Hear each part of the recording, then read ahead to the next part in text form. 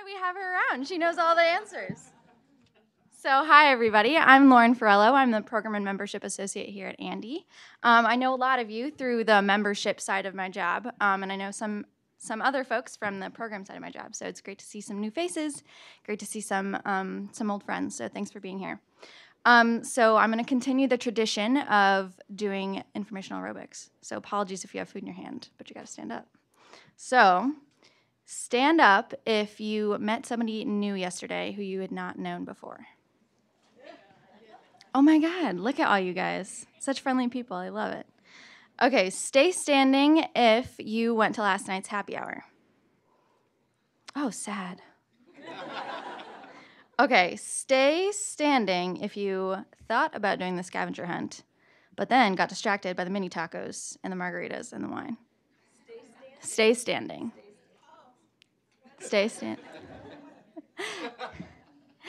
And now, finally, stay standing if you were on the winning team that ended up getting a free pass to the, to the um, Metrics conference next year. Let's give them a round of applause. well, congratulations, guys, and thanks so much for doing this. There's a dispute?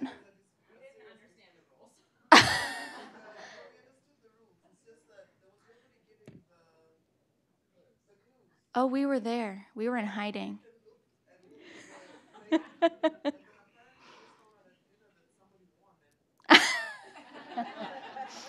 we'll talk later. There might be a, another prize. How's that? well, thank you all for being here again. It's really great to have you. Um, so, I'm going to talk a little bit about the Catalyst Fund, um, and that's going to get us started for the day, maybe, or maybe not. Oh, no. You can talk, I'll work on this. Okay, sorry.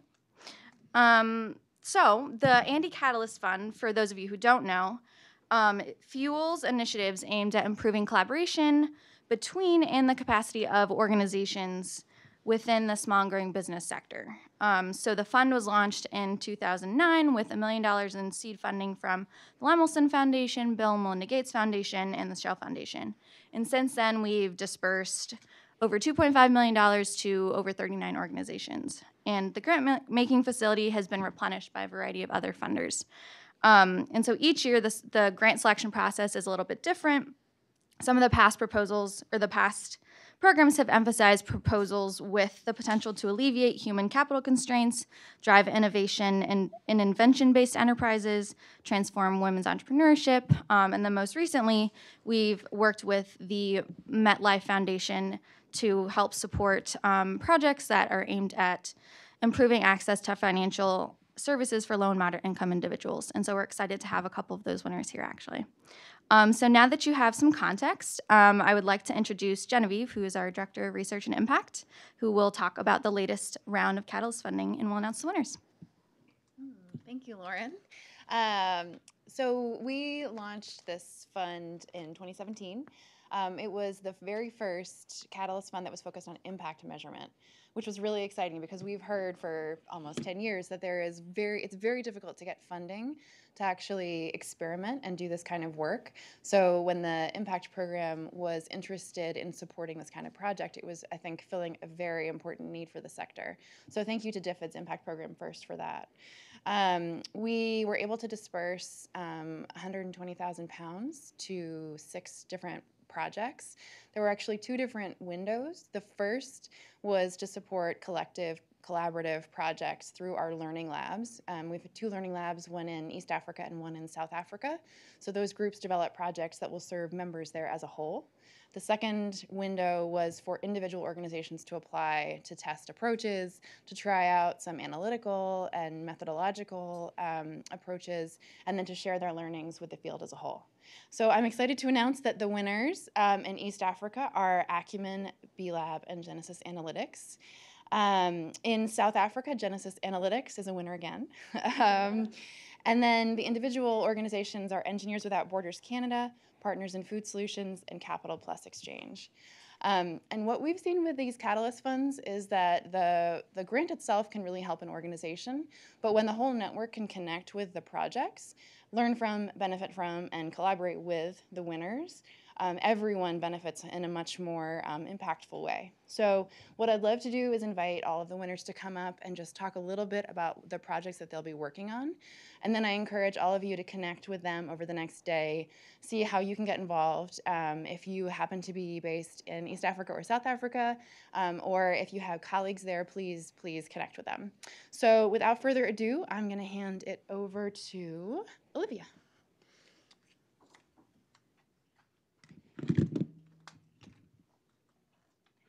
Good morning, everyone.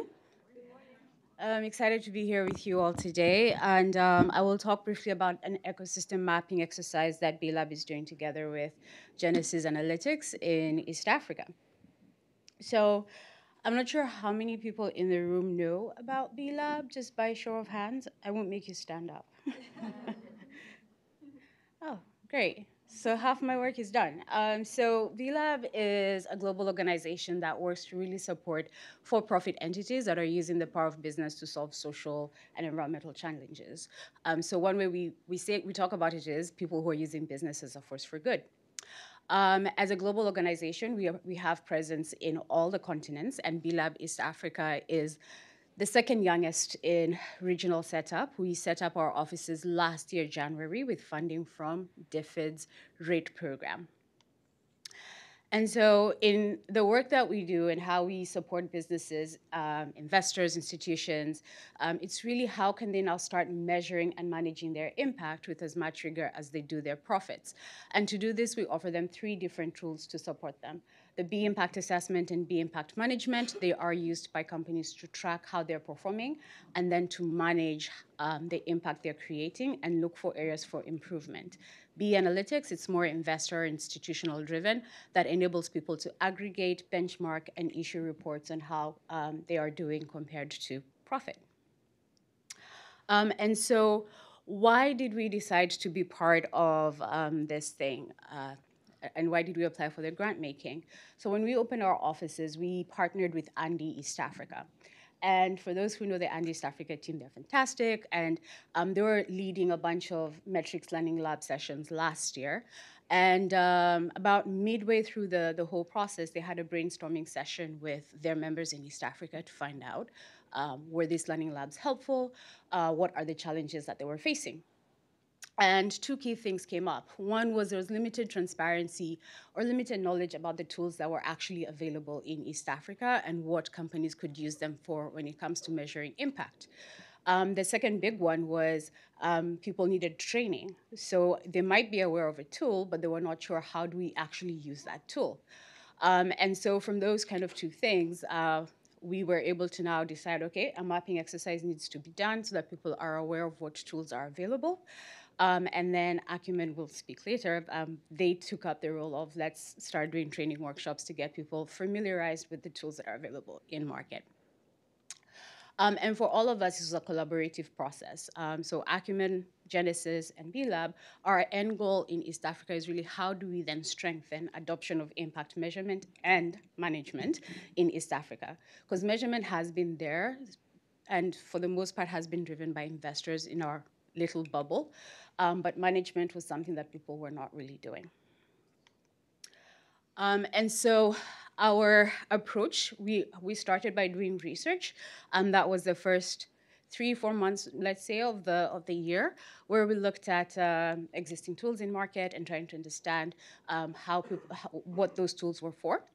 Um, we currently have a survey that's going on where we're collecting information from different players in the East African market um, companies, investors, INGOs, NGOs, associations, government associations are pretty big in East Africa, um, and different intermediaries to just understand um, what are they using impact for and what tools are they using, just in case we are also not aware of tools in the, in the community. And this is targeted both for ANDE members and non-ANDE members because um, we feel like it's an ecosystem thing that needs to happen.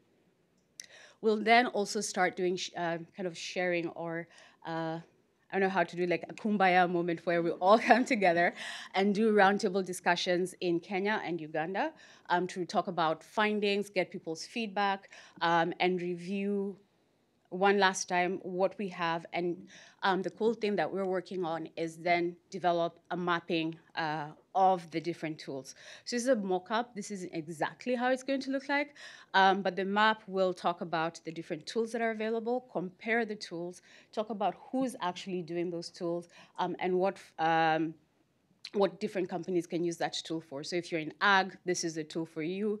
If you're an ag company that's project specific, maybe AMP Impact is what you use. Um, if you look, if you're agnostic, then there's this particular tool, and then also tag onto that case studies from people who are actually using that tool, so that you understand how they're applying it. Um, and so what I need from you, go take the survey. If you know anyone else, take the survey. And then if you're a measurement organization, um, please reach out to me. We want to do, we're doing in-person interviews to understand what you're doing. That's it.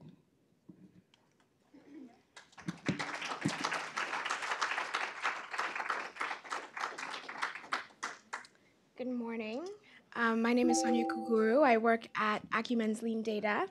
If you don't know Lean Data already, we're an impact measurement approach incubated at the Acumen Fund. So, as Genevieve has already said, there's a huge need um, for impact measurement learning within the ANDE East Africa community. And Acumen has been a really active member within that community um, over the course of many years. And we have noticed that the need is not just to be exposed and to have access to these tools, but the need is to know how to do them. I was just speaking with someone this morning and none of impact measurement has to be rocket science. And so, for a lot of the members who might not have the um, the capacity to go for an RCT or even for lean data, what they want to be able to do is to practically apply these tools on their own. And so, what we are doing is we are hosting trainings and workshops for ANDE East Africa members to access and practically learn about, very literally practical, um, some of these tools. So, we started with Lean Data as the first one, of course, and our Chief Impact Officer at Acumen, Tom Adams, came and taught uh, members in East Africa and Nairobi about the workshops about Lean Data. And the second one will be with Genesis Analytics next month on the theory of change. How you all can help me is if you have, um, if you know anyone or any organization who you think would be a really, really strong um, trainer for our members, then please do let me know. Thank you.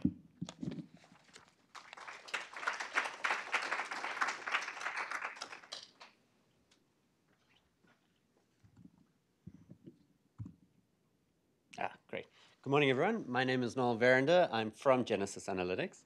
Um, it's good to hear that my company's got a lot of airtime this morning. I wasn't too sure that, that was going to happen. So, just a big, uh, brief background on who we are. So, we are an economics-based consultancy firm based out of Johannesburg, South Africa, with offices in Nairobi and London, where I am based. Um, we received this grant to do uh, mapping the landscape for impact measurement in South Africa. I'm very lucky to have had Olivia go before me because what they're doing is pretty much what we're going to be doing in South Africa. Um, but to just give you a little bit more, so on the problem statement, um, IMM is still very nascent in South Africa. However, there's a lot going on uh, through government's preferential points program, etc. There's a lot of work being done on measuring and managing impact, um, but there is there isn't really a central place for this knowledge. So we think it's worth collating and sharing what is going on inside the country. So the objective is to generate awareness and understanding of the IMM landscape in South Africa amongst the, um, the Learning Lab participants. And how we're going to do this is really, oh, someone snuck in some sneaky um, animations there. So um, first of all, it's going to be a very collaborative effort with a lot of engagement. So engaging a lot of the, the Learning Lab um, participants as well as investors and actors in the space. Um, it is exploratory, so there's going to be a lot of breadth. So through surveys, trying to map out what is happening in the space, what tools are being used, who's doing what. Um, but then also going a little bit deeper with a few interviews and case studies to understand how people are using these tools and how effective are they, what successes there are, etc. Um, obviously, it goes without saying there should be credibility of this research, so it will be very transparent through the whole process. Um, there'll be a lot of sharing intermediary findery, findings and discussing with the steering committee formed for the project. And then lastly, there's no point in doing this unless we're going to disseminate it. So the key focus is about trying to collect all this data um, and understanding the sector and put it in a way that is understandable for everyone. So, and then drive the dissemination of that. So what the output is going to be is some form of um, interactive infographic. This is just an idea. It's not necessarily going to look like this. But as Olivia says, mapping out who is doing what, what works in what sector, um, and essentially being able to click on different things and interact with it and get into deeper information as you go along. And alongside this will be a supplementary guide that gives a lot more information and the case studies behind what works and what doesn't. Um, so as Olivia said, um, what I need from you is um, just to chat, have conversations, find out if there's anyone doing anything interesting in South Africa, um, or putting me in contact with colleagues of yours who are based there. We are just kicking off, so we're not as far along the, the chain. Um, we got kicked off in the past few weeks, so it's still very, very early days for us. Thank you.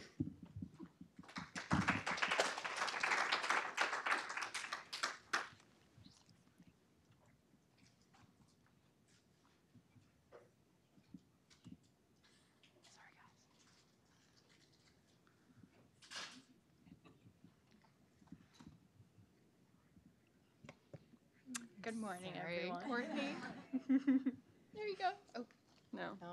Oh, who's that? That's Lynn. Okay, Lynn.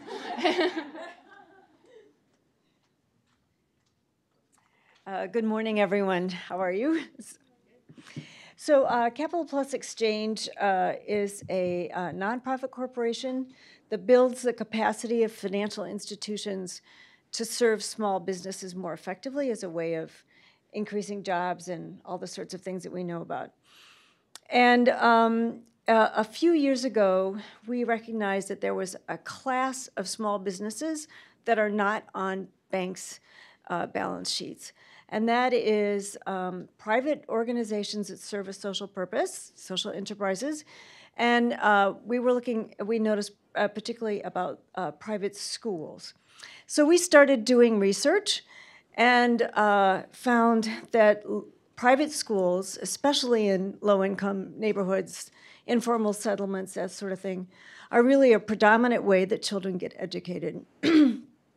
and so uh, we found, uh, we did uh, field research in seven uh, sub Saharan cities and found that um, between 40 to 86% of the kids attend these little, these private schools. So it's obviously, these schools are an obvious way to um, uh, improve education, to increase people's ability to, to learn, earn livelihoods, that sort of thing.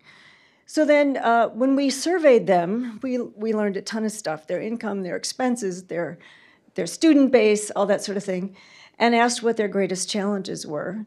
And in every single city, uh, lack of access to credit came out as one of the top three challenges.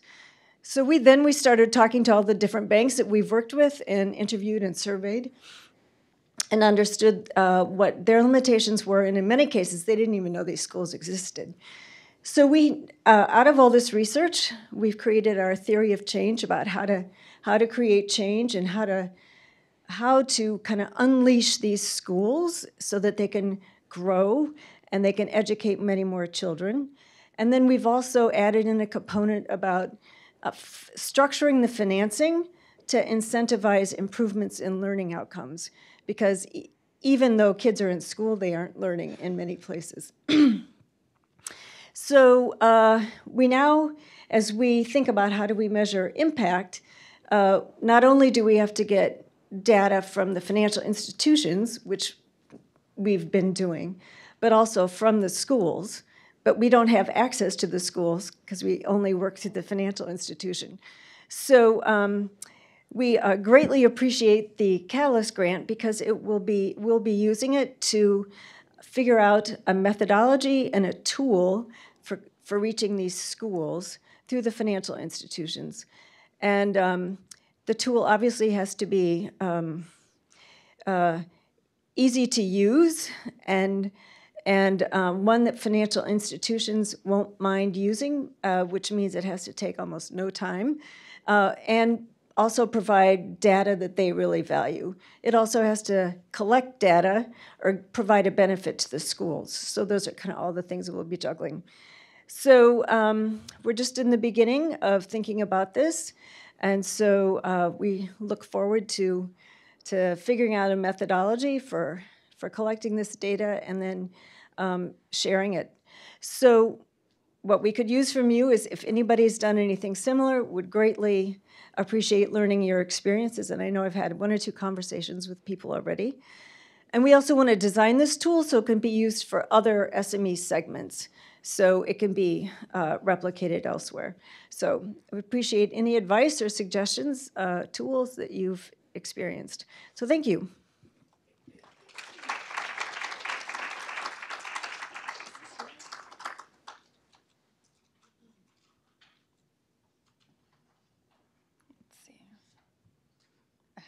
Okay. Good morning. Um, I'm Courtney Bolinson, and I work with Engineers Without Borders Canada. And I'm here with my colleague, Dr. Donna Mertens, in the front row. Um, so if you're interested in what I talk about here, you can find either of us today to learn more. Um, so a little bit about EWB first, because our name can be a bit of a misnomer. So we actually do have a component of our work that is impact investing. Um, we invest in seed stage businesses. We have nine in our investment fund right now. Um, we provide patient capital, so uh, we spend about five years or so supporting our businesses. Um, and we're primarily focused in East and West Africa. Um, and so, since we're a seed stage uh, impact investor, we find ourselves faced with a lot of, I think, seed stage acute challenges in terms of impact measurement. Um, and I outlined a couple here. So I think a really good example is some of our businesses are such at such an early stage that they don't actually have very many clients. So our sample size is really small. Or maybe they have a lot of clients, but over a really short period of time. So we don't have longitudinal data to work with and utilize to understand impact. So I've been thinking a lot about um, what are the what are the appropriate questions to be asking as an evaluator at the seed stage. An impact evaluation with a capital I, like Dean Karlan was talking about yesterday, is probably not really an appropriate fit at that stage. And yet, I really see the seed stage as this um, as an important opportunity stage because these early stage businesses are um, they're nimble, they're early, they're able to respond to customer feedback really quickly. Often, what we've seen are major pivots in business models at this stage, and so it's kind of a critical time for us to understand what kind of um, indicators of early impact we're seeing and what feedback beneficiaries beneficiaries have at a broad level so that those entrepreneurs can take that information into consideration and make changes early on. And I think most importantly, these pivots are made so that they're able to have a greater uh, social or environmental outcome of their work, which is the ultimate goal that we're all trying to achieve. So, this is an important stage. Evaluation is hard, so what do we do? so, um, we hypothesize that transformative evaluation may be a useful tool here. So, transformative evaluation, this comes from the field of program evaluation. It's an approach to doing evaluation work that engages beneficiaries, especially the most marginalized beneficiaries, throughout the entire evaluation process. Um, so I think a good analogy that people are familiar with are kind of participatory research type of methods. This is sort of an umbrella that that would fit under. Um, and so um, I think that th- this approach to evaluation, it, it also allows us to identify and understand multiple experiences with a program or a product.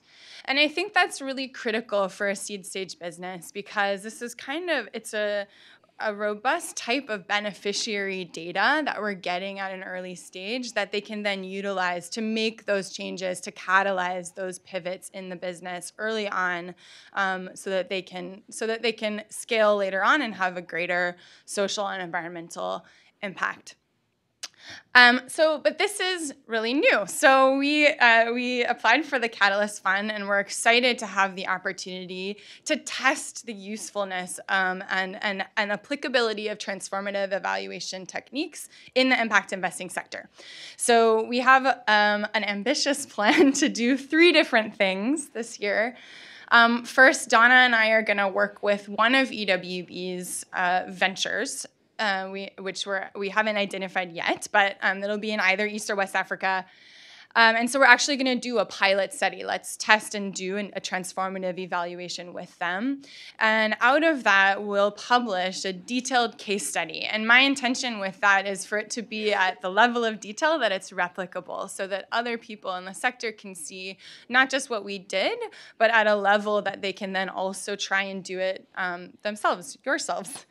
Um, in addition, we want to do a meta evaluation. So, because this is applying a new technique to a new field, um, I think it'll be important for us to not just do a pilot, but to kind of do that meta level of evaluating our evaluation to understand where is this methodology, where are we having challenges in the sector applying it, where are we seeing emergent opportunities, um, that kind of information, so that we can kind of start to say something at a sector level where where this may or may not be valuable and how we might use it. And then finally, um, I think, uh, especially for everyone in this room, we um, hope to create an applied toolkit. And the idea behind this would be kind of an outline of what are the, the um, key principles of a transformative evaluation and how might you apply them depending on who you are. So, from an, an entrepreneur perspective, an investor perspective um, or an evaluator perspective. So here's what the principle is, and here's how you might apply it. So I'll just finish by saying we really are honored to have an opportunity to apply this methodology in the impact investing space, and that wouldn't be possible without this grant. So if you are um, doing seed stage impact evaluation and you have similar challenges, I'd love to hear what you're facing and how this might affect that. And if you have any experience with transformative evaluation, let us know. We'd love to um, learn from your experiences as well. Thanks.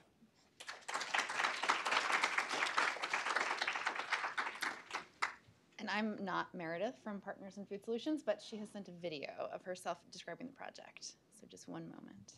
Good morning, everyone. My name is Meredith Koss. I'm the Director of Impact at Partners in Food Solutions. We are very pleased to be included in the next cohort of the ANDE Catalyst grant funding. Um, I'm here this morning to explain to you a little bit about what we're going to be using that grant for. Um, our proposal from measurement to management will be using client outcome data for business decisions. And we propose to um, do this because PFS is a nonprofit consortium of leading global food companies that works to strengthen um, food security, nutrition in sub Saharan Africa by linking PFS corporate volunteers with clients or SGBs to provide remote technical assistance. And what we found is this at times requires data sharing um, from long distances and the business about business and operational performance that the SGB may or may not have digitally or even readily available. So we wanted to take a step back and explore why this might be and what um, how we could perhaps help SGBs in unlocking the power of their data to make better business decisions. So our research questions are um, what business outputs and outcomes are most useful to the SGB to track. It's very important for us that this be uh, very client centric um, approach that we find things that are of highest utility for our clients. And what do they wish to track better? What are the challenges in doing so? What are the challenges in doing analysis? What decisions would they like to be able to more easily make? Um, and then what food industry best practices are clients most interested in tracking as well? So we propose to do this uh, through three activities. First, um, through a gap analysis of um, looking at our own data and seeing um, which of our previous clients um, might have information that we could leverage to help make better business decisions around five main outcomes and um, the five main impact metrics. And what we're looking at testing is uh, change in employees, production sales, production volume, production costs, and profitability analysis. And of those high potential clients that we feel have um, the capability of providing this information and interest in doing so, we would then go on to activity two, where we um, do interviews um, with selected clients to gather the proposed metrics if we don't already have it or get updated information. Um, do a preliminary analysis for them along these lines. Uh, also, truth testing them and seeing are these really the metrics that are important to you? Um, what is most interesting to you as a client, most useful to you? Um, assessing what data gaps and challenges they have in, in collecting it and also analyzing it, and then making suggestions uh, of what they could do in the future. Um, and what we'll be doing is creating individual client reports, 15 to 20 client reports, and providing suggestion for tools um, based on those reports. The last activity will then, once the client reports are delivered, we want to bring back a subset of these clients um, to discuss with them in a focus group discussion how they've used it, what you know, maybe why they haven't used it. Um, uh, just again, focus on that utilization of. Um, uh, unlocking information to make better business decisions and why that challenge does or does not exist, um, and to share lessons with each other as well. So um, our expected outputs are going to be 15 to 20 individual client reports as well as a grant report outlining the findings against our research questions as well as um, the outcomes of a better understanding of what SGBs want to see regarding outcome level data and the challenges they face in using it as well as a little bit around format, um, how mo most useful this information is for them to be received and how best to set them up to continue to gather and use this data long after we finish working with them. So we're very excited for this opportunity and want to take uh, the time to thank ANDE for um, for this grant, and we're really looking forward to jumping in. Thanks, and have a great day.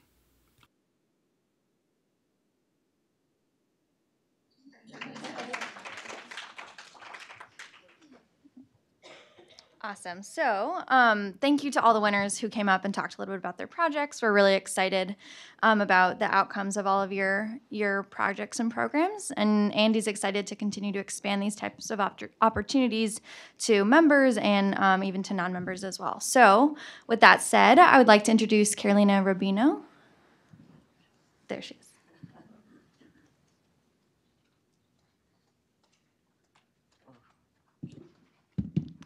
Small space. Well, I'll manage. I don't need this. Um, so, um, hello, um, hola.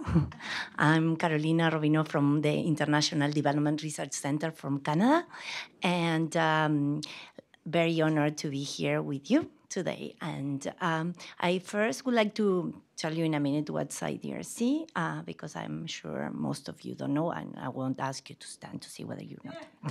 Just remain seated. So, uh, the Canada's International Development Research Center is a grant-making organization, and um, we are funded uh, through the Canadian government and also through other donor funded fund, uh, partnerships that we manage. And uh, what we do with the, those uh, grants, we support research. Research that seeks to provide solutions to the key development challenges that developing countries face. And that research that we support, the particularity that it has is that it's uh, developed by developing countries researchers. Uh, so um, we work on a diversity of uh, sectors or on issues, and I work uh, in a program that is called Employment and Growth, with really focus on trying to address the barriers that uh, most marginalized and uh, vulnerable groups face, such as women and youth, to access uh, economic opportunities and towards their uh, economic empowerment. So, under that area, and why we are here, is that um, we are working uh, around supporting research that uh, help scale up uh, inclusive business models and, model, and businesses that are seeking to have an impact to foster women and youth inclusion. So um, we have an hypothesis, which is uh, that, uh, and, and that's the rationale behind the cluster of programming that we are developing in this area, that is that by brokering relationships between research centers and researchers and uh, businesses that are looking for an impact on social inclusion and intermediaries that are helping businesses achieve that goal, uh, we can help those businesses scale up and scale their impact. And why? Um, we think there are kind of two at least main roles that local researchers and local research institutions can play in this uh, local entrepreneurial ecosystem. And one has to do with nurturing and, and, and generating and bringing up a new generation of business leaders. Um, and so we need uh, uh, local research, uh, local uh, universities that are really uh, coming up with and helping uh, this new generation of business leaders. And the other key, key area we think local researchers and research institutions can, can play a role is around um, helping these businesses and entrepreneurs and intermediaries that are looking to have an impact to assess their impact. That's why we are here. That's why many, a couple of our partners uh, that are actually implementing these kind of projects are here, such as you heard this morning, uh, Eduardo from Fundación Paraguaya and their poverty stoplight uh, tool, uh, which is really about um, a methodology for families to self-assess poverty and how uh, business associations and businesses are using the tool to eliminate poverty in their businesses. Um, another example is we have project with Sistema B and B-Lab uh, around impact measurement and, and, and generating this new generation of business leaders. And uh, we are very happy to say that we have a partnership with ANDE, and that's um, what I'm going to, to present today. Um, and uh, the partnership with ANDE really um, seeks to um, um, strengthen the field of impact measurement. Uh, uh, uh, and one of the key tools under that project is what we call the Gender Lens Impact Measurement Fund. Um, so uh, the Gender Lens Impact Measurement Fund, which is the fund that uh, we are going, we are announcing right now, and it's open, and this is kind of the launch of the fund, and so I will ask you to spread the word as well. Um, it's a key piece of that project. Uh, so I know you might all be thinking, oh, no, no, no, impact measurement is hard enough, and now you are uh, exposing another limitation, something that adds to it, and it's gender lens impact measurement that we now shall be doing.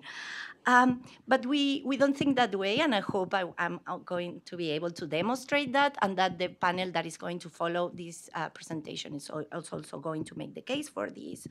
Uh, so uh, it is uh, let me tell you what it, I think it's not about. So including gender lens around impact ma management and measurement, it's not about a specific sector. It's not about looking at women. Uh, so it's really about thinking about impacts from a different perspective. That's why I like the picture of the Criterion Institute. Um, and it can be in all sectors.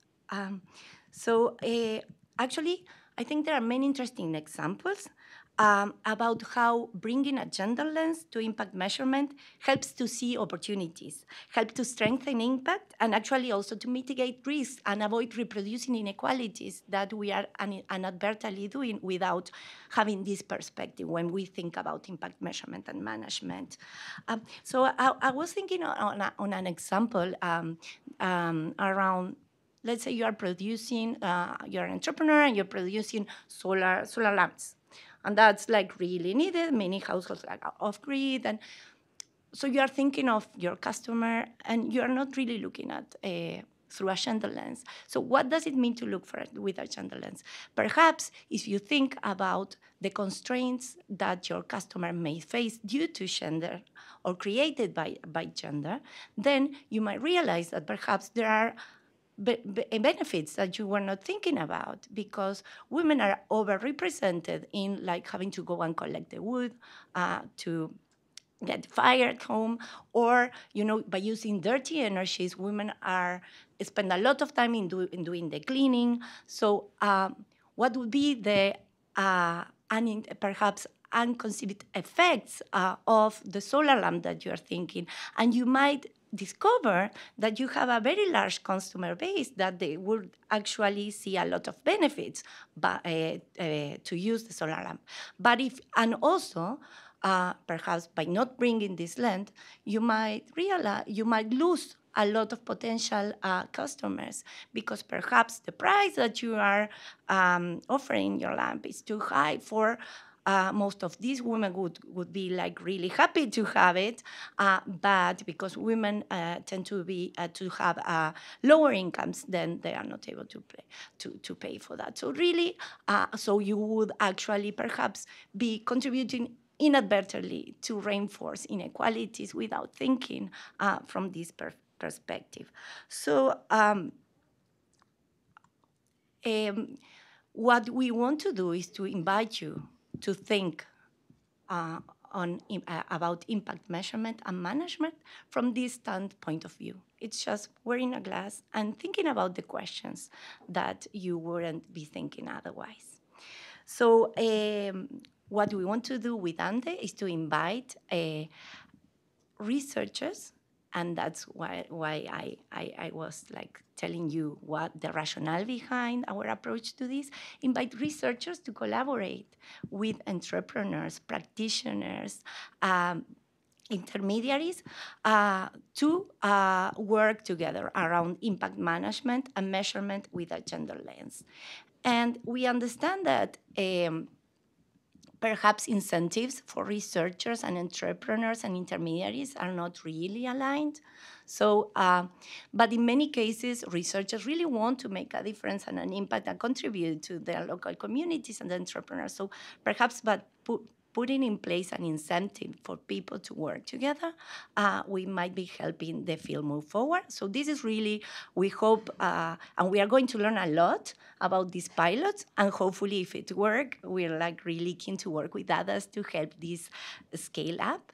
Uh, but it's very interesting for me, even like when you look at uh, everyone that is here, like how many uh, representatives for research institutions we have here. We have a, a few people working on RCTs. That's kind of very specific type of research, but we are thinking of researchers that, that, can bring other expertise to the sector.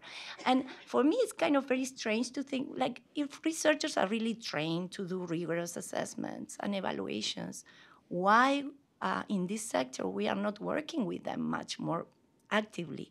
Shouldn't they be a key part of the local entrepreneurial ecosystems. And we are thinking about local researchers. So just imagine the small local entrepreneur that would be um, able to tap into uh, the um, capacities of local researchers and local research institutions to solve some of these issues around impact uh, management and measurement. So that's the point of uh, our, our uh, Gender Lens Impact uh, Measurement Fund that ANDE is going to manage. And the objective, as it says there, is really to enhance awareness, rigor, and quality of impact assessment practices so that SGBs and intermediaries can better manage their impact to address gender inequality and foster social inclusion.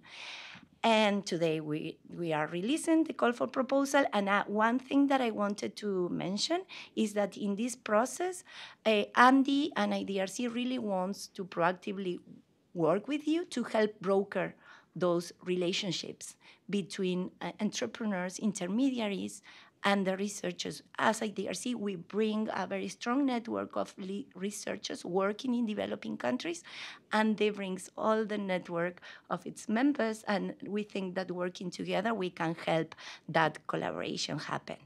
Um, so we will be actively facilitating that matchmaking and then you can see the process there. So I hope you can help us spread the word and actually participate and apply and we are really excited. Um, so thank you.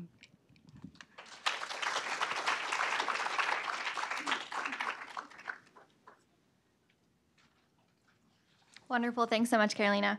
Um, so I would encourage everybody to visit our website, um, read the request for proposals, and come talk to anybody on the ANDE team. Obviously, Genevieve and Bree are going to be your kind of go-to people, um, but we would definitely want you to get involved and ask questions about this. There's also going to be a webinar, um, so feel free to come to the webinar and ask questions there as well. Um, so obviously, um, related to the gender lens investing and impact management, impact measurement idea, um, we want to continue this conversation. And so I'd like to invite the next panel up to the stage.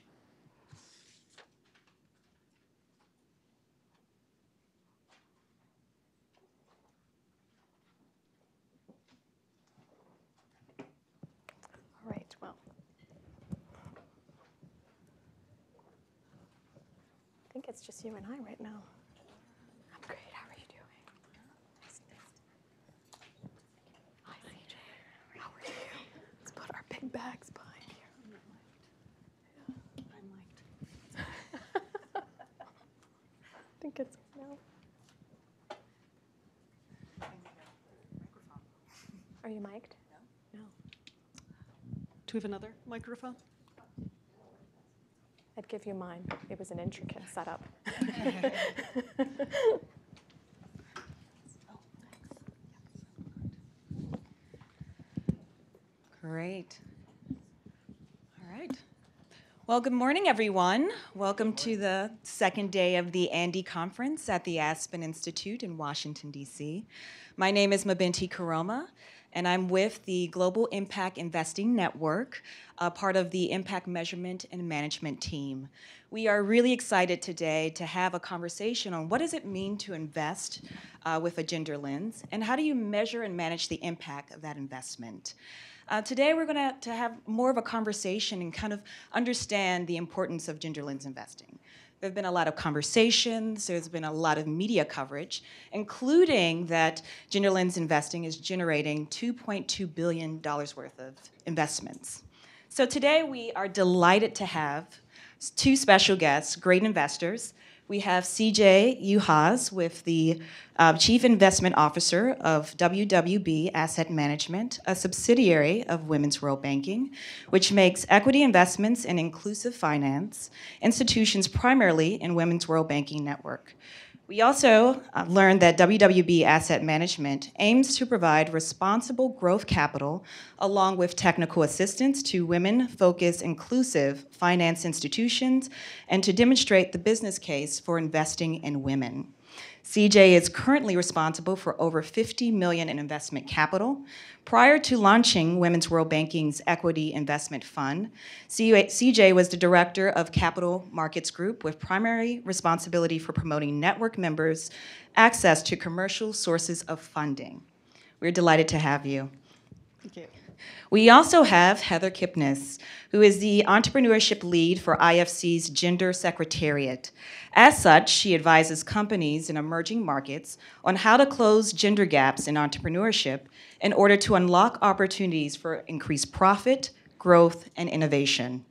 Heather has over 15 years of experience in international development and financial services across Europe, Latin America, and the Caribbean, Sub Saharan Africa, South Asia, and the Middle East.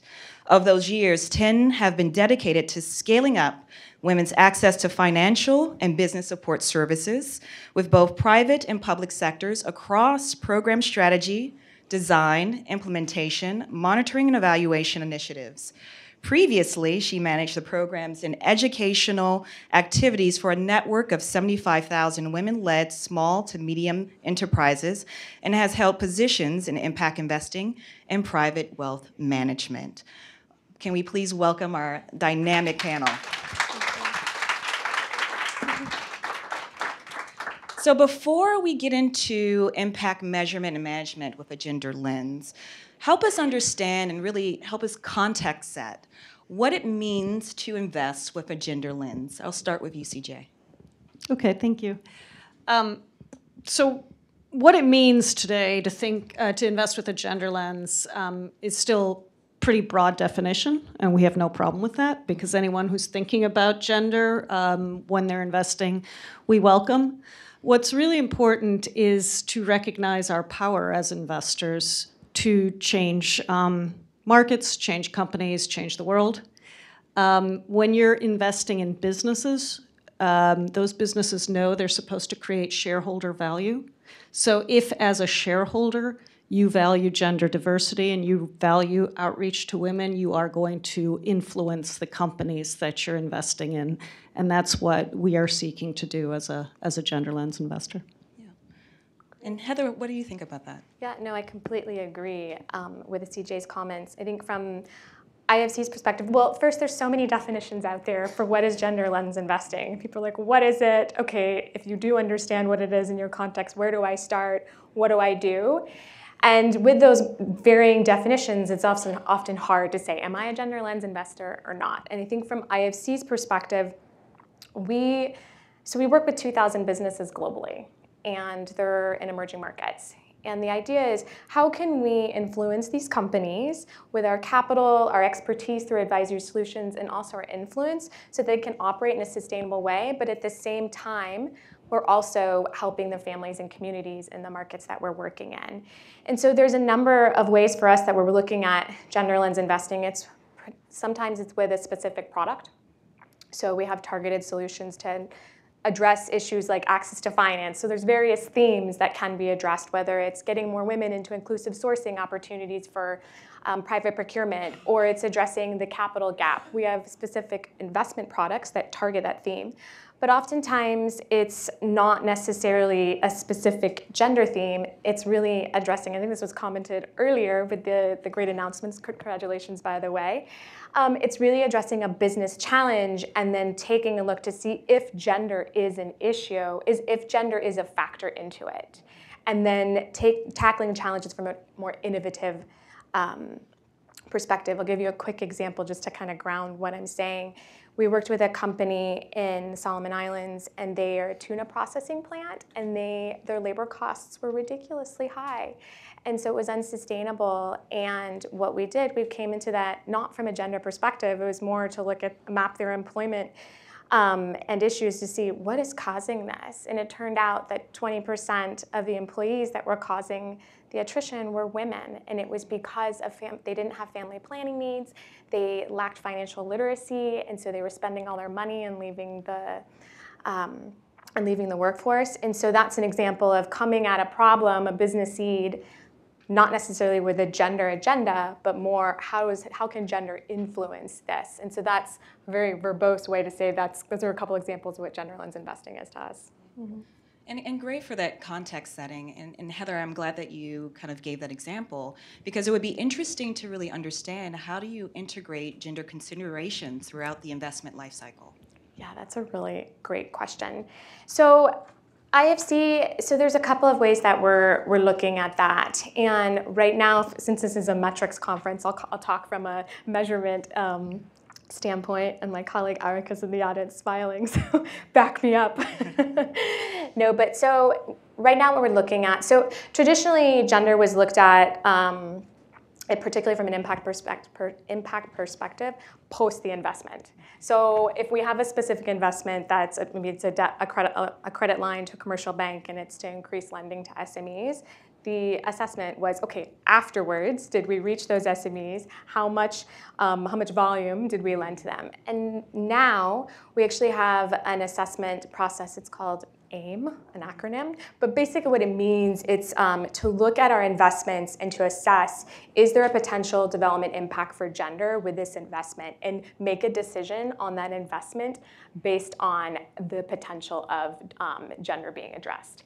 And so also how we're looking at this is in order for a project to be assessed from a gender lens, we have to, our IOs, um, investment officers, have to be able to state what is the gender gap that's being addressed.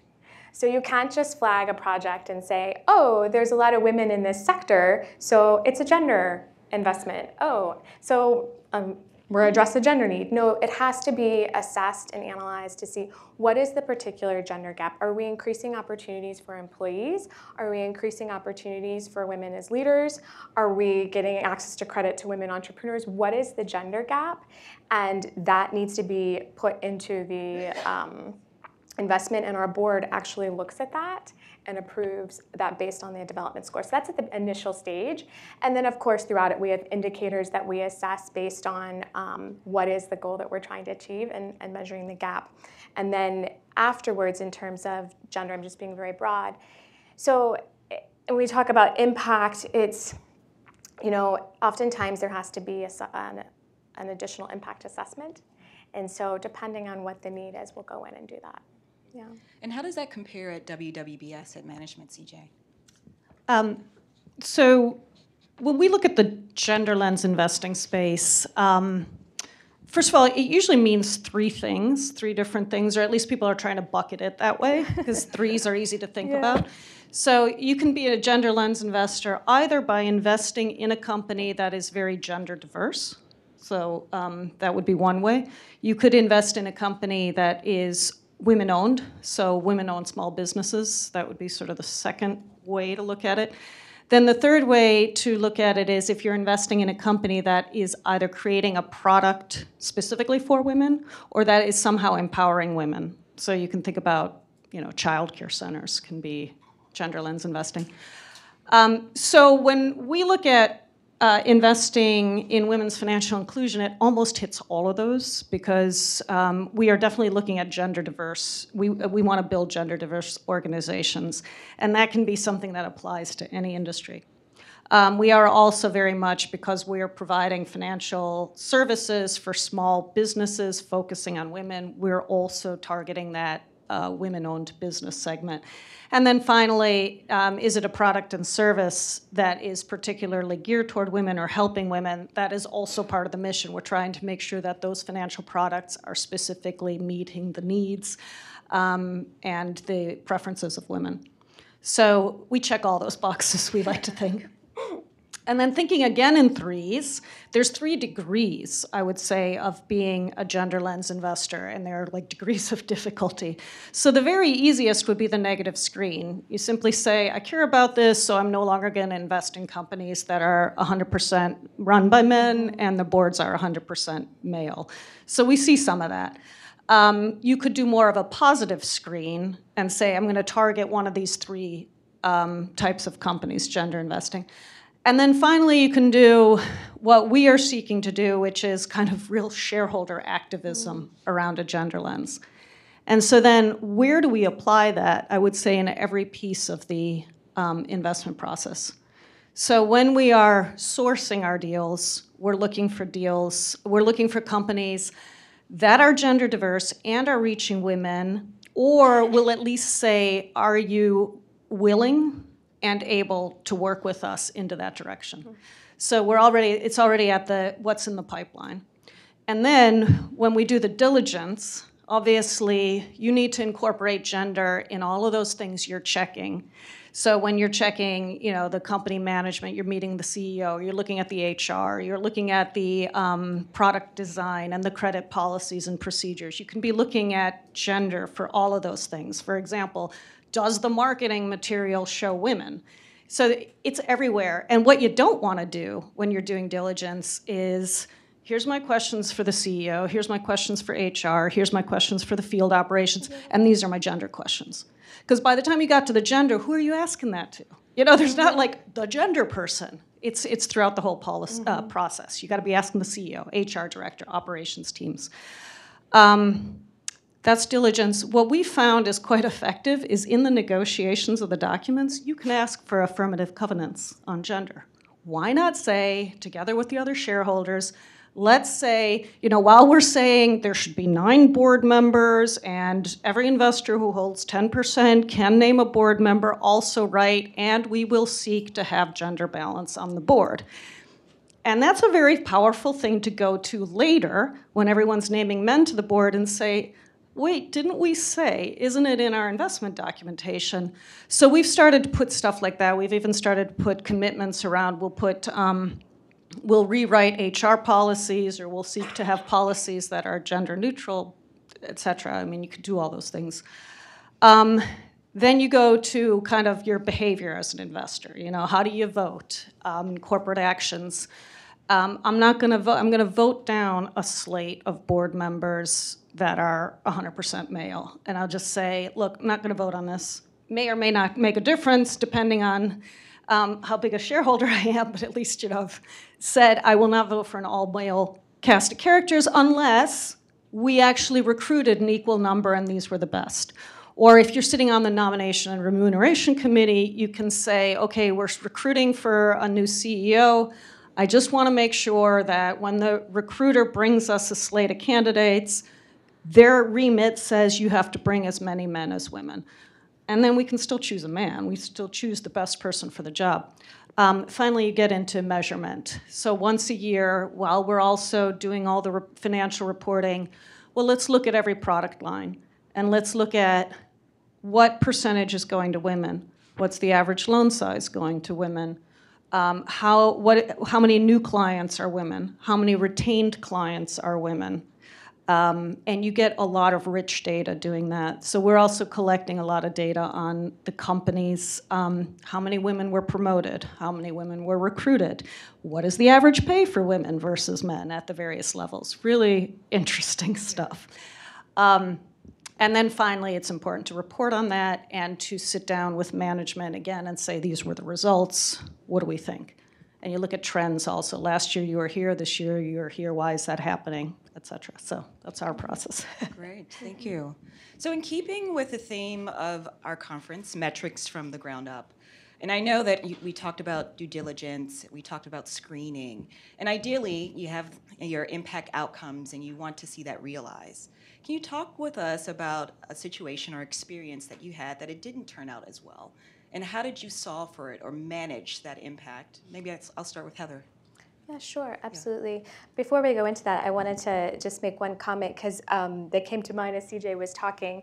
I think it's important to your last question is also to think about what type of instrument you're using because that's going to influence. That's going to that's going to send a signal on what type of influence you can have. And so, you know, with equity investments, you're going to have a higher level of influence on the companies you're working with and with debt.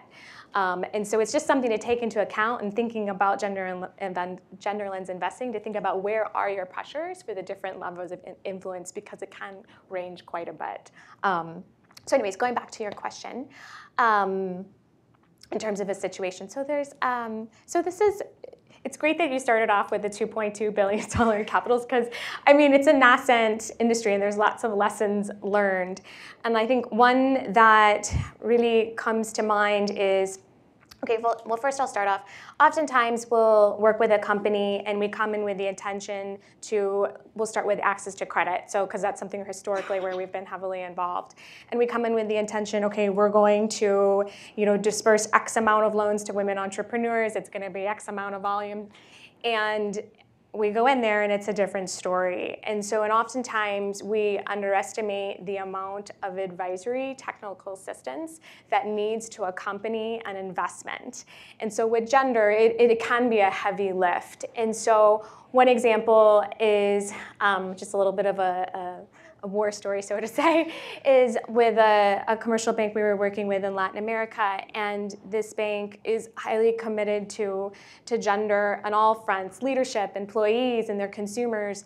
Um, but they really wanted to focus on SMEs, and they were also an investment client, not necessarily specifically for gender, but we had extended a line of credit to help them with SMEs overall. And we went there, and they wanted to create a, a program for women SMEs. And we had our baseline and what we expected um, to reach, and we got in there, and they really didn't even have a strong SME banking program. So that's a, a regardless of the gender lens, it's like they didn't have the foundation and the fundamentals to even lend to SMEs in general. So how are we going to come in and help them create a women SME opportunity. And so what we ended up doing was, I mean, there's a level of creativity that needs to happen, and also this is all about partnering with your with your clients. And we decided to focus on women as retail clients. And so it's still addressing the financial inclusion gap. And then we decided to then, once we were to develop that, to, and they had their SME banking capabilities in place, we would then extend um, the service. We would then work with them on women SMEs. So it ended up working out really well because the retail portfolio um, produced an IRR of 35% for the bank, so that was quite excellent. And then later on, we came back and did the SME banking. So, I mean, the moral of that story is really being able to pivot and be creative and work hand in hand. And you really need a client that is think that thinks about this from an innovative perspective and is willing to go on that journey with you. And so that had a that had a good ending. Yeah. There's others that may not, but I'll I'll let CJ take those. Just kidding. CJ, uh, yeah, talk about an experience for you. All right. Well, I'll talk about one that Uh, not that doesn't have a good ending. We just don't know the ending yet. but it's been a long process. And uh, we we specifically made an investment in Latin America. It's a good institution, but it's dismal on women in the senior ranks, um, like zero. So when we came in, um, they embraced the idea of gender diversity and liked having the idea of having women's world banking along, and and things were going to. Um, you know, change. And that was one of the examples where we actually put it in shareholders' commitment. We said, okay, but if we're going to invest, you know, this is why we're investing. We want everyone on board with this. So then um, we're invested. It's now four years later, and the situation hasn't changed. There's still no women. They have tried to recruit, and the women rapidly leave, and it just hasn't been a priority. Now, granted, there's been all sorts of other things going on in that particular country that take the focus away from this is not the priority. There are mm-hmm. a hundred other priorities. And the company's been performing well. So mm-hmm. now it's really hard to register a complaint. And yet, because you know the response is, you know, why are we talking about women right now? We've got all these other things and we're managing well and we're performing well. And that's great, but you know, who knows? Maybe you could be performing better.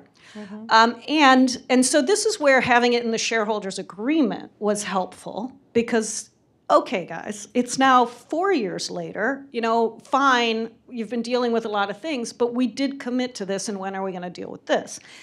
Um, and the other thing that we had to do, because you do have what we thought we needed to do was some kind of assessment what's going on in this company that they can't recruit senior women or can't retain them. Why do they keep leaving? And so that required an outside consultant because they weren't going to figure it out on their own. But we also didn't have technical assistance resources, so somebody's going to have to pay for this, and that somebody was going to have to be the company. So what we were able to do, though, is demonstrate, you know, you have to make the business case. And so there is a lot more research out there now about the effectiveness of diverse teams, the importance of diverse teams, and frankly, the, the risk management story is helping us right now. Like when you see, mm. you know, Uber, the Trevor Kalashnik, or I can't say his name, losing his company because of a lack of gender diversity. You know, that starts to resonate a little mm-hmm. bit, or, you know, some of the, the horrors of the Me Too movement. It, um, there's a lot of good data for why this is the right thing to do and the smart thing to do for the company. And when we bring that in front of a board, the board has agreed now to invest in this analysis.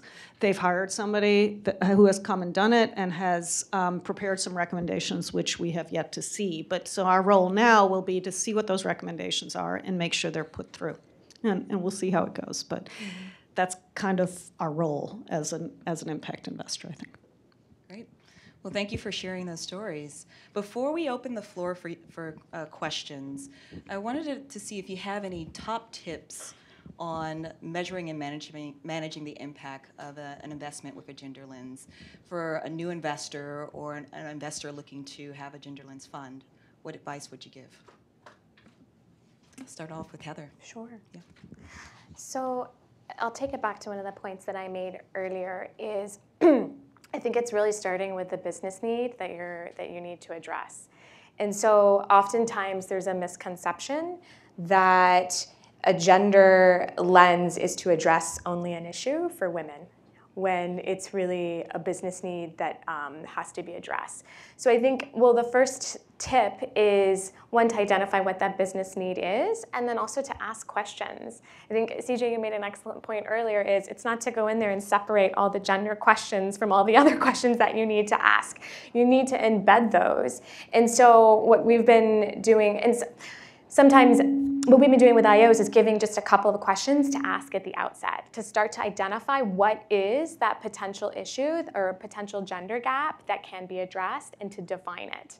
Because historically, I think a lot, and we're evolving, and it's going to be exciting to see what comes out of the um, this new uh, gender lens impact and measurement activity, is that it's all always looking post. And so a lot of activities are pilots, and so there isn't really a baseline yet. And so you're looking at what did we, what could we achieve from nothing, and without having gone previously and defining and asking the questions to get to what the real issue is. So I would say that's the first tip. And it's also a great way to just to start to figure out where is your entry point for gender lens investing. Mm-hmm. Thank you. And CJ? Yeah, I'd reiterate that. I mean, let's we don't have to approach it as a social mission. Um, there's a really solid business case why we should be doing this, and it, it, there's a lot of research about performance, gender diversity and performance, and we can start there.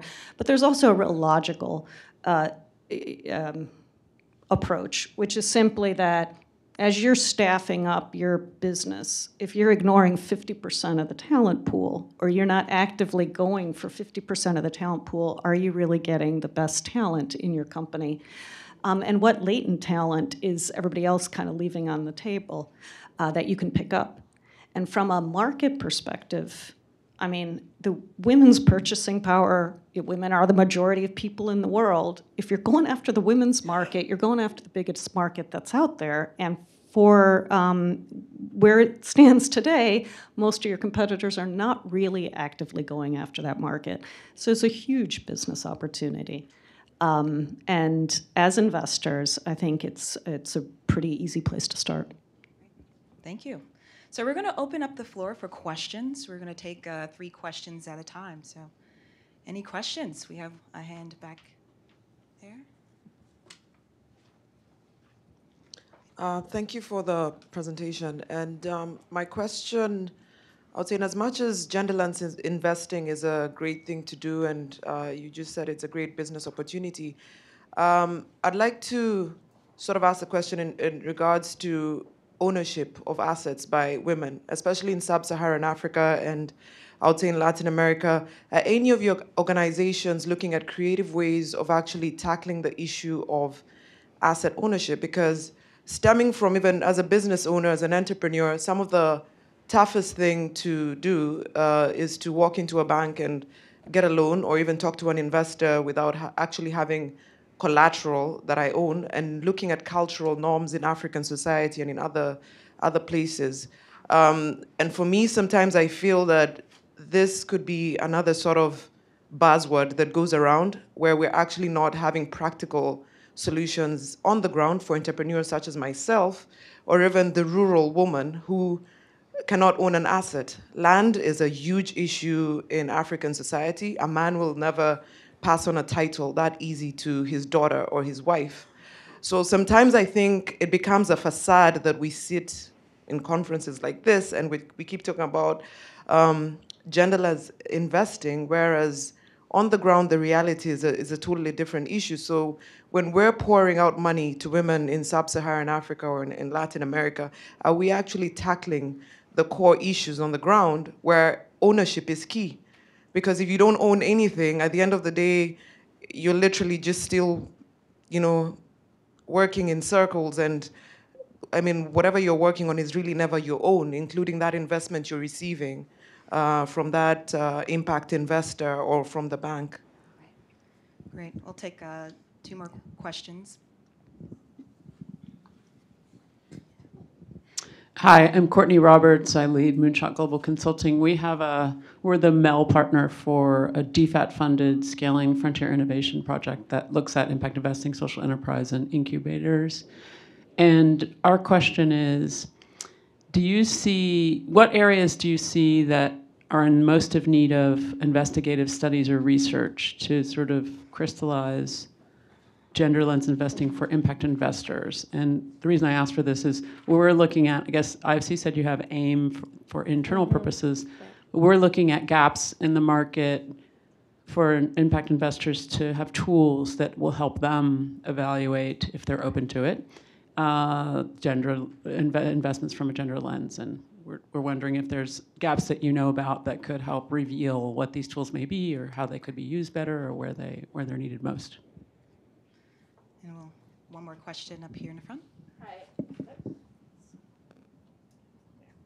Hi, I'm Donna Mertens, and um, I'm from the field of evaluation and research. And uh, a lot of my work has been done with a feminist lens and looking at how do we create that point of leverage for change in cultural norms. Um, because if we don't do that, then you'll continue to see the kinds of things that CJ talked about. That with your mouth you say yes, we endorse gender, but with your actions you don't. And the basis of that are cultural norms Mhm. that are exclusive and that are oppressive. And so I guess I'm wondering about your thoughts around that, that it goes beyond the metrics and beyond the the statements that say this and where the where the room is there for addressing these kinds of cultural issues and I think it picks up on some of the other comments that were made. Great. So Heather and CJ. Yeah, so I can take a stab at them. So I'll address, uh, I think the first question, thank you, and the last are, are related. So in terms of access to um, ownership of assets, so it's a critical it's a critical challenge for, for women particularly. And it's such a critical challenge that with IFC, with the World Bank Group we have a global gender strategy. And one of the core pillars is to increase women's access and ownership of assets. Because when you own let's say it's land housing you have access to a bank account access to a mobile phone technology there is a um, it gives you an opportunity to have to make decisions and to have agency. And so I think part of getting to that increased access to um, ownership of assets and control is also addressing these cultural norms. And so it's inherent in a lot of the advisory work that we're doing. It's very hard to be able to create that change through our investments, but through the ad- advice that we have, we do address that. And I'll give you an example of how we did this. And this isn't in sub Saharan Africa, but it is in. Um, in the West Bank and Gaza. So a fragile, it's very, um, it's one of the toughest places to work. And so what we addressed there was what we found was that women, 65% of women wanted to start a business, but only 15% had the confidence to do so. And why was that confidence so low? Is because they did not have access to networks, to trainings, to a bank account, to opportunities that gave them the ability to make decisions. On, and also, they didn't have the support from their male family members. They didn't have the support from even um, the women in their community. And so, this is more through an advisory intervention, but we did go in and we did assess, and it's a lot of trying to understand what these, lo- what these cultural norms are. And we can't go in and change a cultural norm overnight, but we can go in and provide some type of influence through, um, in this case, it was a, a training program where we brought together male relationship managers of a commercial bank and paired them with women entrepreneurs and had them work side by side for six months on the businesses. And what came out of that was, um, and we measured this through surveys and interviews, what came out of that was the male perception initially was women can't run businesses. Women don't, and this is a cultural norm, women don't have the ability to run businesses. And that cultural uh, and that belief had shifted by working side by side with these entrepreneurs. And now these male relationship managers that were part of the program were actually ambassadors for the bank and we've now seen an uptake an uptick in bank accounts going to women through um, not only bank accounts, but other financial products like point of sale terminals for women. That's an asset, an asset that you can own. And so we've seen an uptick in that because we were able to influence the relationship and the perception that male relationship matters. That's one example, but there needs to be more of that. And we do make we do strive to do that with our projects because you really need to address or try to integrate the understanding of those social norms to be able to influence change. Mm-hmm. CJ, how would you respond?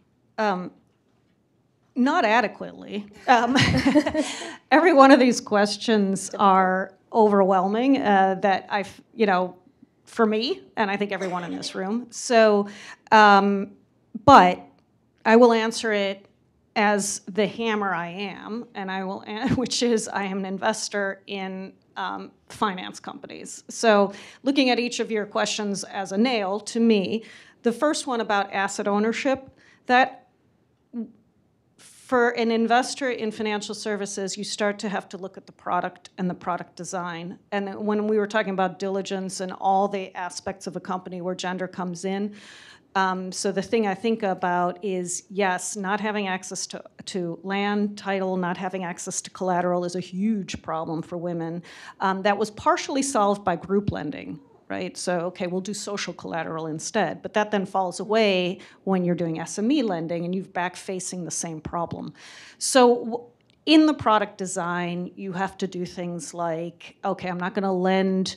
Um, this equipment or I won't lend this house unless the woman's name is on the title and there's some ownership. But there's only so much you can do about that. So we also have to figure out how to uh, change laws. You know, I mean, some of this stuff is regulatory, change customs, but we we have to recognize it's a problem. And if everyone approaches it a little bit, at least you know, hit the nail uh, part of the problem that you can hit.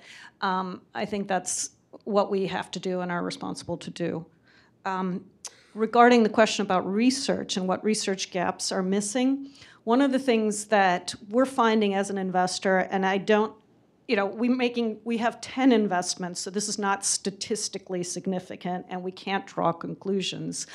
But while we all know that um, women are better repayers, and this is consistent when you're talking about group lending, the story changes with SME, um, where they're not always better, not always worse, sometimes about the same, but there is a there is a difference, and I think women are, um, from what I'm seeing, women need more. Women invariably get lower loan sizes, invariably across the portfolio in SME. So what what's going on? I mean, are their businesses underinvested?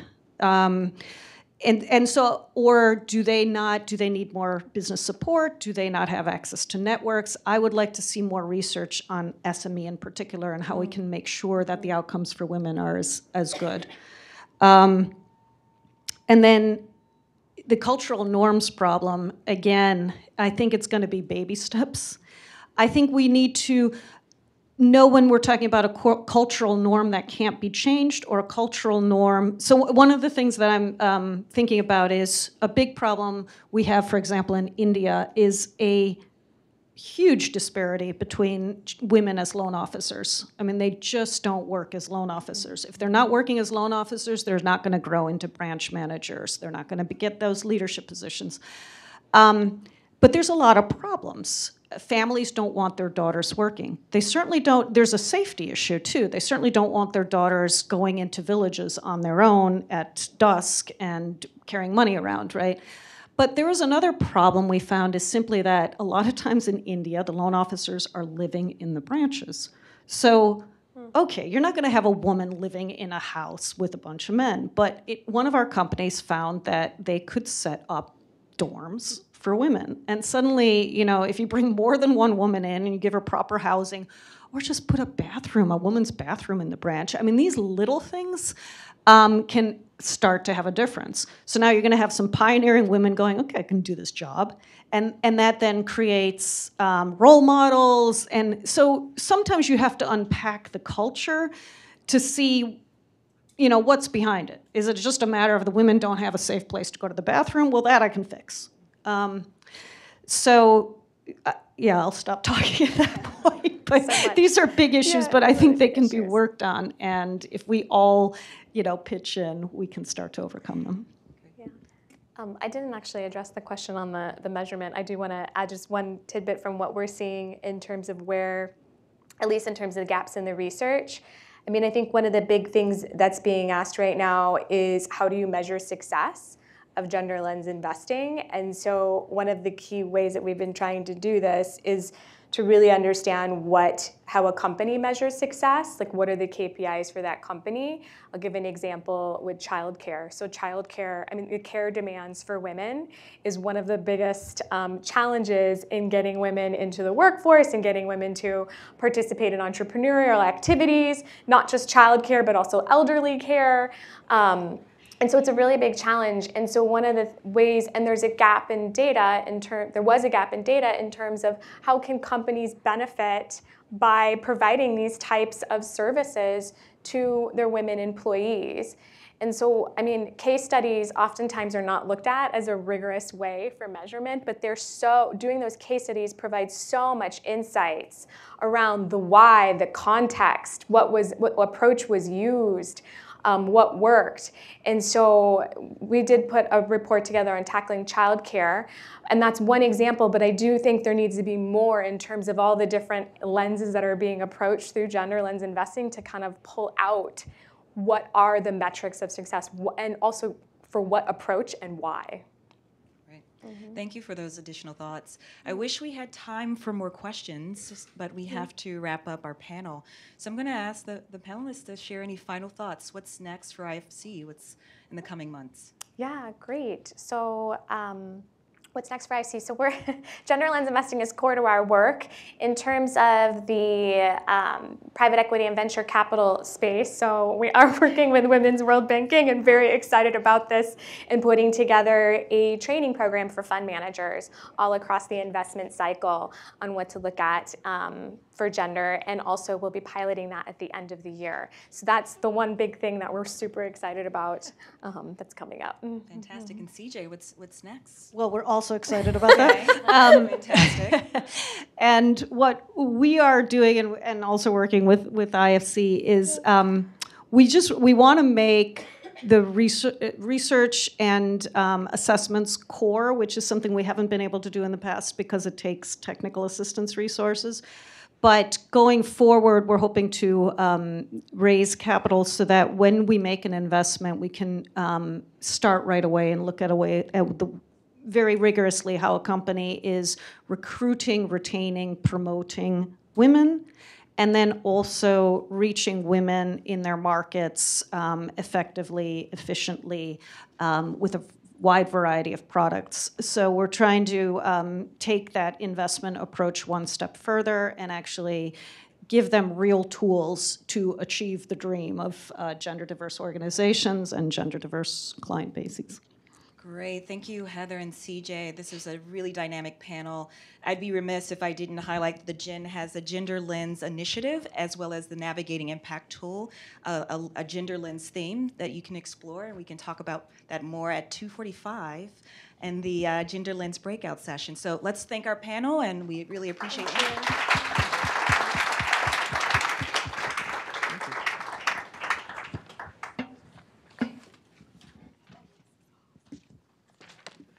Thank you so much. That was fantastic. Um, so now we're going into our sort of unconference part of um, this morning, which you um, very generously provided ideas for and voted on those ideas. So um, we have a schedule available of um, where we've sort of netted out on where the rooms are going to be, and I'll put that up in just a second. But before I get into that, I wanted to sort of go over some of the norms and ground rules, so to speak, of an unconference. Um, show of hands, how many of you have been to an unconference session before? Okay, good. So if they're relatively new to the idea, and again, we're kind of adapting it. We're not like following it by the rule book, but basically the idea is um, any size is the right size. So it can be your session can have two people in it, it can have 50 people in it. Um, so it's sort of flexible in that way to sort of adapt to what the group wants to talk about. Um, and so I can get into sort of some some of the norms. Freedom to move. If you are in a session and feel like you're not getting what you're hoping to get out of the session um, you're welcome to go to a different session. And so people shouldn't take that personally. I think everyone wants to get um, really maximize their experience here. So um, feel free to move around. Um, so, so yes, that's rule number one. Um, participation. Um, a unconference is really about the group discussion. So, um, as you'll notice, there's no moderator, there's no leader. Um, it really is designed to be a discussion um, led by you. And then um, everyone has something to share. So um, again, I think integrating some of the newbies in the group is going to be really key. Um, I think they have a lot of perspective to add. I'm hoping that um, the entrepreneurs who are here will sort of spread out and give their perspective because um, I know we all want to hear from them. Um, get to know everyone. Um, depending on how big your session is, you may not have time to go around and do like an in depth introduction of everyone, but at least um, say names, maybe a fun fact about yourself, um, sort of create a safe space for a really fruitful discussion. And I think the key thing here is we're going to be back in this room at noon. And so every group is going to need to do sort of a quick report out of um, the things that they think the whole conference, the whole um, all everyone that's here today should know about their session and any lingering questions that they might like to pose to the group. So I would recommend sort of allocating the last 15 minutes or so, to um, really getting consensus around what you want to report back to your group and maybe assigning someone to be to sort of have that role so that they can keep it in mind. Um, so yeah, with that, um, we're gonna have a quick break. So let's say, please try to get to your unconference room by 11 p.m um, and then be back in here for noon by noon for report out, and then we will, g- sorry, go into lunch and then go into uh, demo sessions at 1.30. So I'm gonna put out the schedule and. Um, you will notice that that last room, Mayor, is available for anyone who's disappointed that their session is not on the agenda. In true unconference style, you are welcome to sort of rebel and um, talk about anything you want to talk about. If it's you and two people, like you're welcome to sit out here in this area. Again, um, really try and make the most of this time and be thinking about your report back at noon. So with that, I will let you guys go.